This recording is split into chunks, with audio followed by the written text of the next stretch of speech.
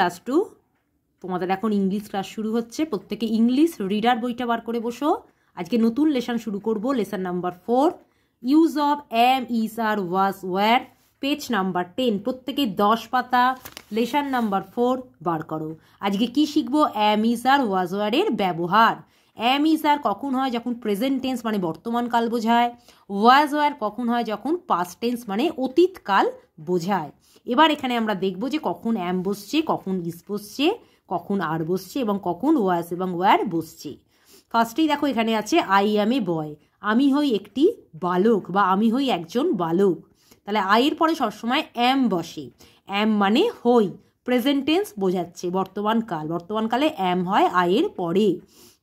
তাহলে I am এ বয় মানে কি? আমি হই একটি বালক বা ছেলে। মাই নেম ইজ রাহুল আমার নাম হয় রাহুল। তাহলে রাহুলের আটটা কি হলো? বড় হাতের, কারণ এটা নাম বোঝাচ্ছে। তাহলে আই এস ইস মানে হয়। মাই নেম ইজ রাহুল মানে আমার নাম হয় Rahul. I read in class two আমি দ্বিতীয় শ্রেণীতে পড়ি।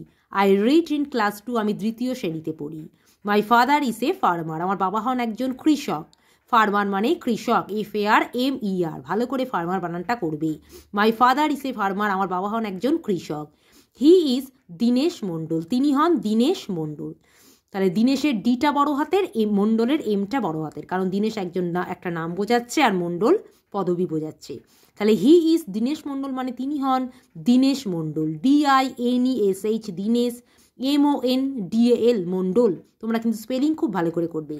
মাই মাদার ইস বিনা আমার মা হন Bina B I N A Bina বিনার বিটাও কিন্তু বড় হাতে। যখনই কোনো নাম বোঝাবে, তার ফার্স্ট লেটার ক্যাপিটাল হবে।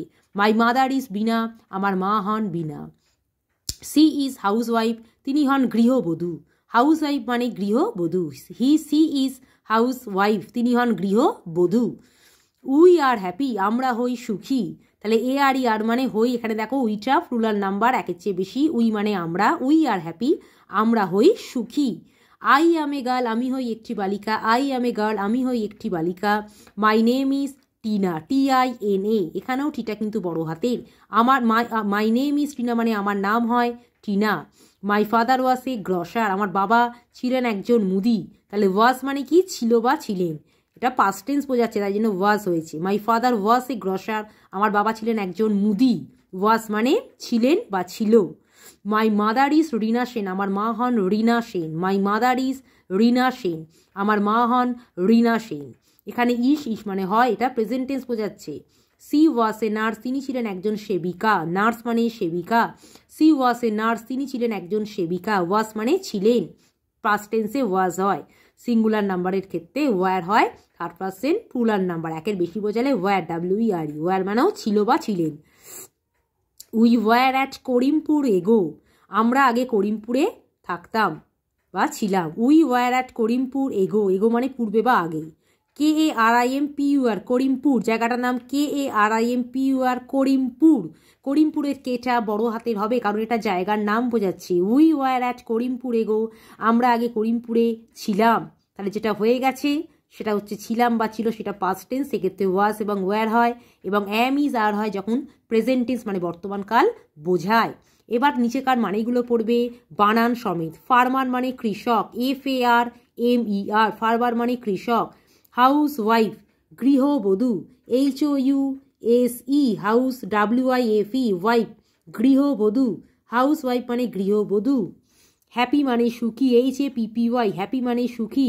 গ্রসার মানে মুদি, জি আর ও সি ই আর, গ্রসার মানে মুদি, জি আর ও সি ই আর, গ্রসার মানে মুদি। পরেরটা দেখো, nurse N U R S E nurse মানে সেবিকা। N U R S E nurse মানে সেবিকা। এখানে প্রত্যেকটা দেখো ছবিও আছে। এই দেখো নার্সের ছবি, এই দেখো গ্রসার মুদিখানার যিনি বসে আছেন, মুদি, তিনি হচ্ছেন গ্রসার, এই হচ্ছে মেয়েটির নাম একজন স্টুডেন্ট। এইখানে দেখো কৃষকের ছবি দেখতে পাচ্ছি আমরা, আর এই হচ্ছে ছেলেটি, এও একজন স্টুডেন্ট।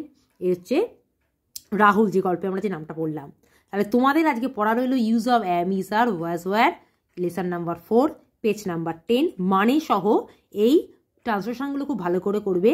আমি পরদিনকে এক্সারসাইজ করাবো এবং এর মানেগুলো তোমাদের আমি লিখিয়ে দেবো, এখান থেকে কিন্তু ট্রান্সলেশন হিসাবে আসতে পারে।